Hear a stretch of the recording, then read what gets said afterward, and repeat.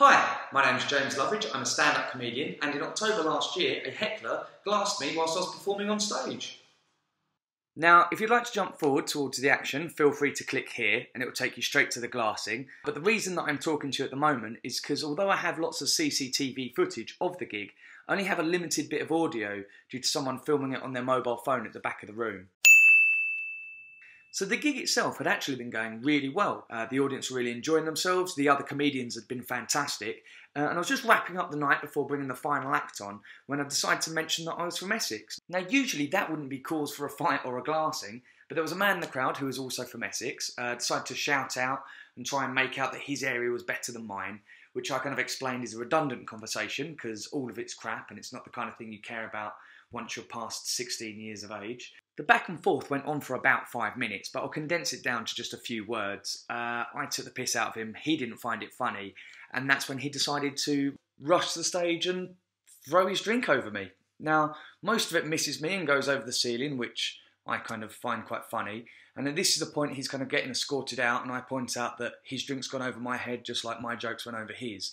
And never want to miss up on an opportunity, I decided to take my top off and dance underneath the beer that's dripping from the ceiling. I also noticed there's an ice bucket by my foot and try my best to reenact Flashdance. And it's about now the audio kicks in, so enjoy. To Cooper's, that was school, then you're more likely bullied. Look at me now, sunshine.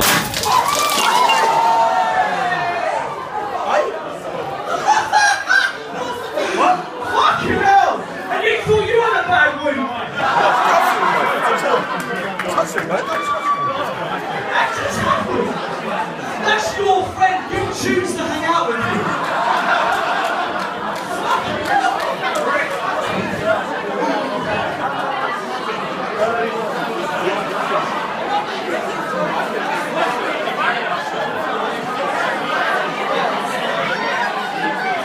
I'm okay with it, mate. We will please your hearts.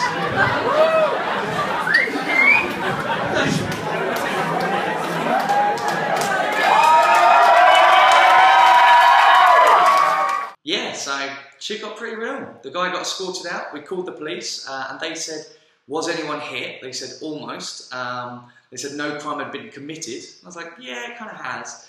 Uh, but on the plus side, guys, at the end of it, uh, I got eight new Twitter followers. So that was one Twitter follower for every shard of glass that I picked out my back that night. Uh, but weirdly, you know, I've been doing comedy for six years, and something like that has never happened. It's very, very rare. Uh, this whole idea that you kind of get hecklers at comedy clubs doesn't happen as much as you think. Uh, but when it does happen, Jesus Christ, it really happened. So uh, yeah, I hope you enjoyed that video. Sorry you had to see my face do this bit to camera. I know it's a bit awkward. People just want to see the glass and then go. Uh, but if you'd like to see more of my stuff where I don't get attacked, uh, feel free to kind of click here. Um, or I've got a whole Edinburgh show that I did a couple of years ago. You could do there. Uh, and if you're going to be in Edinburgh, come see me. Don't glass me. That'd be a bit shit. Uh, uh, but yeah, my show's called Castles, Castles in the Sand, and uh, I'll hopefully see you there. All right, cheers.